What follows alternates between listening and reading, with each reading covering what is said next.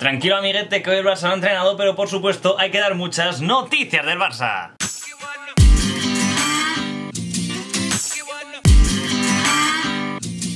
¿Qué tal amigos? ¿Cómo estáis? Bienvenidos a un nuevo vídeo. Voy a dejar por aquí al señor Patata, que decíais que hacía mucho que no lo sacaba en las intros. Pues bueno, aquí le tenéis.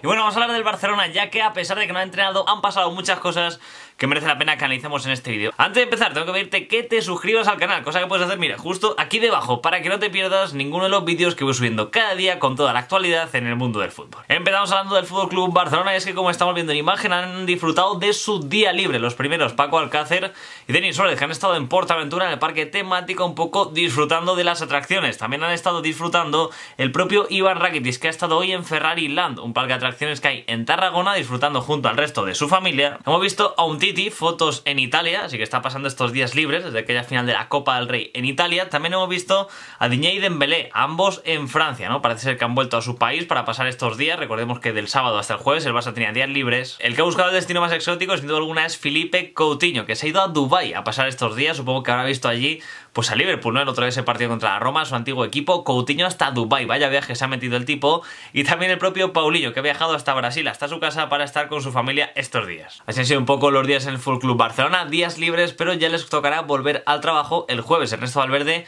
les volvió a citar el jueves para preparar ese partido de liga del Deportivo de La Coruña del próximo domingo. Por cierto, se ha conocido que el partido que tiene el Barça aplazado por haber jugado esa final de la Copa del Rey el pasado fin de semana se jugará el 9 de mayo a las 8 de la tarde contra el Villarreal. Partido aplazado, el Barça seguramente llegue como campeón, solamente necesita un punto para ser campeón. Y el equipo culé lo que le ha pedido a la liga es recibir la copa antes de que acabe la temporada. Normalmente en la liga española es tradición que el campeón reciba la copa de campeón, pues justamente en la primera jornada y el Barcelona quiere evitarse pues recibir esa copa y que Andrés Iniesta pues no esté en la plantilla y quiere que esta liga sea el último trofeo que levante Andrés Iniesta como capitán del Fútbol Club Barcelona. Por eso le ha pedido a la liga que el último día, el último partido la Real Sociedad en el Camp Nou le entregue ese trofeo como campeón para que lo levante Andrés Iniesta. Un Iniesta que si todo va según lo previsto, mañana debería decirle a toda la plantilla que ha tomado ya su decisión y seguramente mañana puede que incluso se haga público, ¿no? Su adiós al Fútbol Club Barcelona. Se habla de que lo va a hacer público antes de ese partido ante el Deportivo de La Coruña. Estaremos pendientes y en el vestuario del Barça están muy pendientes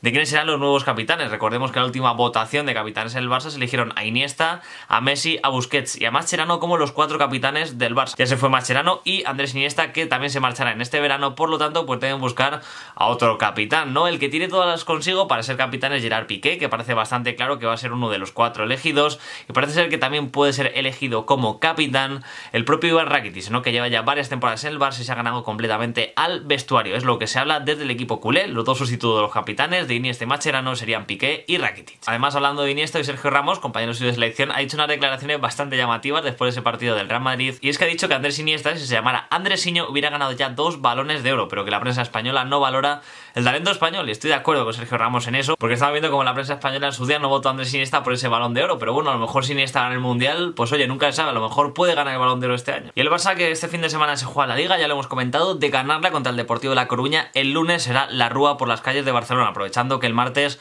es festivo en España, 1 de mayo, Día del Trabajador. El Barcelona tiene pensado hacer el lunes una rúa por las calles de Barcelona. Lógicamente me falta cosas por confirmar, pero si va todo según lo previsto, no sería fiesta en el Pero sí sería rúa por las calles de Barcelona. Además, el Barcelona en esta liga se está jugando más que la liga, ¿no? Porque puede conseguir ser el primer equipo en la historia en estar invicto. Es un pequeño dilema, ¿no? Para Ernesto Valverde, para el equipo, porque claro, no saben si priorizar el Mundial para llegar bien al Mundial o cerrar una temporada histórica en la liga, ¿no? Será Ernesto Valverde que tome las decisiones, seguramente de entrada jugadores menos habituales para los partidos de liga cuando el Barça ya sea campeón y nos estaremos pendientes, sobre todo para ese clásico sacar al 11 de gala que juega el primer fin de semana de mayo, pero después seguramente haga muchas rotaciones. Y el que no rotará mucho es a Ter Stegen, ¿no? De momento se está jugando ser el Zamora de la liga. Lleva encajados 19 goles en 33 partidos, uno más y un partido menos que Oblak, que lleva 18 goles encajados en 34 partidos. De momento Ter Stegen va a competir con Oblak hasta el final por ser el Zamora de la liga. Y ayer hablamos de unas declaraciones de Canilla que hizo en Radio La Red diciendo que Leo Messi, aunque gane el Mundial, nunca será más grande que Maradona. Yo dije de aquí que Canilla es un poco pesado, metiéndose siempre con Leo Messi. Pues bueno,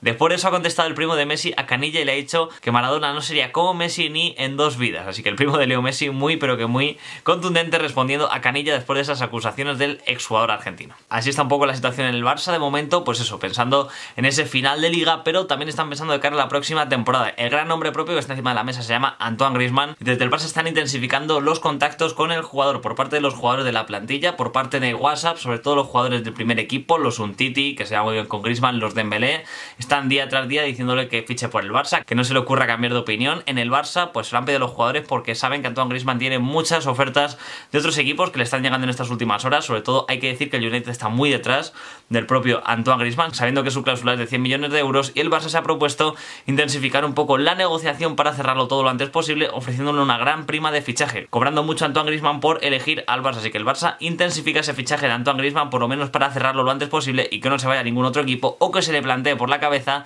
pues fichar por otro club. Además, antes he hablado en un vídeo que creo que podéis ver por aquí arriba que en el Barça están dudando qué pasará con Arthur Melo, ¿no? Parece que el cuerpo técnico no está del todo convencido de que el jugador brasileño sea un buen refuerzo para el equipo y que preferiría otro futbolista. Ese futbolista que prefiere es Fabián, jugador del Betis, jugador muy joven y que tiene una cláusula de rescisión de 30 millones de euros. Así que el Fútbol Barcelona que se interesa por este futbolista, muy muy seguido por varios clubes de Europa. Y también ha sorprendido mucho una información hoy de Goal, que no dice otra cosa que Marcos Alonso, jugador del Chelsea, parece que interesaría al Barça un poquito como sustituto de Jordi Alba en el lateral izquierdo y también como relevo futuro de Gerard Piqué, ya que le hemos visto también jugar como central. No sé, no me pega mucho Marcos Alonso en el Barça, no creo que se vaya, pero es una información que dice Goal, que el Barça tiene como objetivo fichar a Marcos Alonso. Recordemos que su padre llegó a jugar en el Barça. Y luego el Barcelona tiene la operación salida, sobre todo protagonizada por Alex Vidal, el cual ha quedado con el Barça que una vez se consiga el título de liga, quiere hablar con el club para decirles eso, que se quiere marchar del equipo culé. No va a ser el primero, va a haber bastantes jugadores que le van a decir eso al Barça, entre ellos Paco Alcácer, sobre todo también Lucas Diñé, parece ser que es otro de esos jugadores y el propio André Gómez. Además, eso parece que Alex Vidal lo tiene bastante claro, que si quiere ir del Barça, le gustaría volver al Sevilla, aunque sabe que bueno, que no será tan fácil, que tampoco sabe si el Sevilla cuenta con él de cara al año que viene, pero Alex Vidal que tiene esa opción y va a hablar con el Barça después de ganar la liga para comunicarle su deseo de marcharse el próximo verano. Y por su parte, Rafinha Alcántara está cedido en el Inter de Milán, tiene una opción de compra de 35 millones de euros que será obligatoria de llegar a la Champions, una opción de compra que querrían activar sí o sí, pase lo que pase, y desde el Inter está intentando rebajar esa opción de compra. Están contactando con agentes del Barça para decirles que, oye, que quieren pagar un poco menos de 35 millones porque es insostenible para el equipo pagar tanto por Rafinha Alcántara. Lógicamente esto está acordado en el contrato y será difícil que el Barcelona admita concesiones respecto a ese precio de Rafinha Alcántara. Y hay bastante noticias hoy en el Barça B. La primera de todas ellas es que han destituido a Gerard López. Recordemos que el Barça B está en puestos de descenso, está en segunda división y ha nombrado como entrenador a García Pimienta, el entrenador del juvenil de la Youth League, que fue campeón pues este mismo lunes, pues ha sido nombrado como nuevo entrenador del Barça B. Lleva ya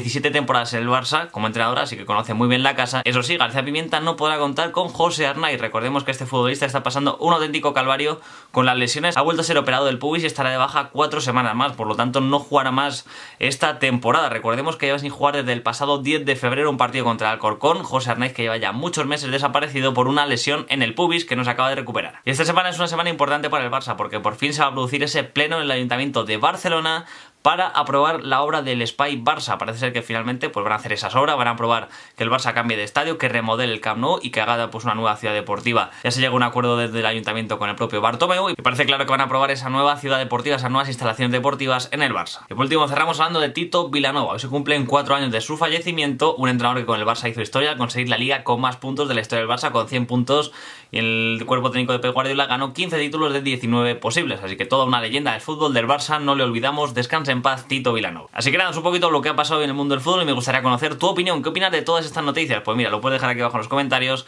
dale me gusta al vídeo si te ha gustado y suscríbete para que no te pierdas ninguno de los vídeos que voy subiendo cada día. Nos vemos en el siguiente, ¿eh? Hasta luego.